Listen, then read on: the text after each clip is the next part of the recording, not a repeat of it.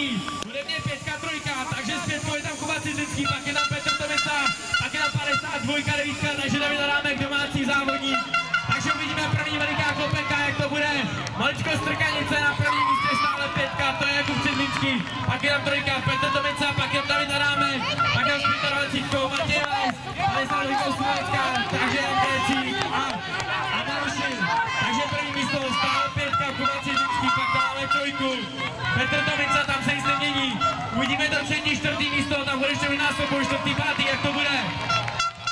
Takže první místo stále s pětkou, maličko chyba, Kuba Cidlický, trojka tam je Petr Tomica, 25, to je Matěj Weiss, pak je domácí závodník, David Adámek, tam 18.